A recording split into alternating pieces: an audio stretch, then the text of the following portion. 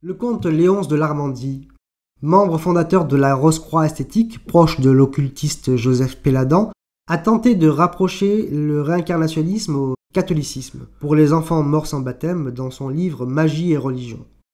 C'est vrai que dans certains textes, comme le quatrième concile de Constantinople, c'est là qu'on a cru pouvoir invoquer des choses contre la réincarnation, et ça ne s'applique pas à sa réfutation. C'est vrai. Mais les occultistes n'avaient pas à se réjouir de cela, puisqu'en 869-870 après Jésus-Christ, l'idée de réincarnation n'existait pas. Donc il n'y avait pas de quoi rédiger à l'époque un texte contre la réincarnation. Ça coule sous le sens. La problématique, elle était autre. Je vais vous l'expliquer en quelques mots. C'était Origène, l'un des pères de l'exégèse biblique, qui avait affirmé que la vie corporelle serait un châtiment pour des âmes qui, je cite, préexistant en tant que puissance céleste, aurait pris satiété de la contemplation divine.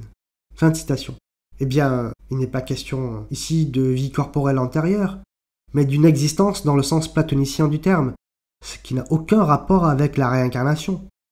Du coup, on se demande comment Papus a, fait pour écrire ceci. Je le cite.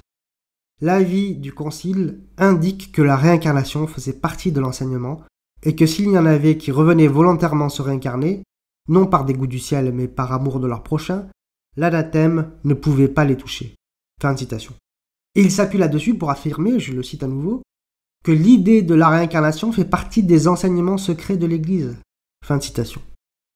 À propos de la doctrine catholique, le spirit Kardec disait ceci. Le dogme de la résurrection de la chair est la consécration de celui de la réincarnation enseigné par les esprits, et qu'ainsi l'Église, par le dogme de la résurrection de la chair, enseigne elle-même la doctrine de la réincarnation. Qui a dit cela à Kardec? Qui d'autre que l'esprit de Saint Louis, qui lui aurait confirmé par cette affirmation, je cite Saint Louis qui aurait parlé à Kardec, Cela est évident, avant peu on reconnaîtra que le spiritisme ressort à chaque pas du texte même des écritures sacrées. Merci Saint Louis. Kardec raconte tout cela dans le livre des esprits. Le plus étonnant, c'est qu'il s'est même trouvé un prêtre catholique pour soutenir cette explication. L'abbé Petit du diocèse de Beauvais, un familier de la duchesse de Pomard, qui était elle proche de euh, Madame Blavatsky.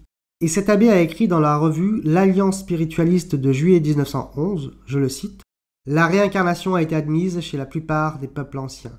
Le Christ aussi l'admettait.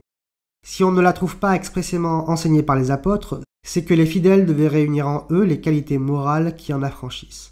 Plus tard, quand les grands chefs et leurs disciples eurent disparu, et que l'enseignement chrétien, sous la pression des intérêts humains, se fut figé en un aride symbole, il ne resta comme vestige du passé que la résurrection de la chair, ou dans la chair, qui, prise au sens étroit du mot, fit croire à l'erreur gigantesque de la résurrection des corps morts. Fin de citation. Nos commentes, euh, comme disent les Anglais.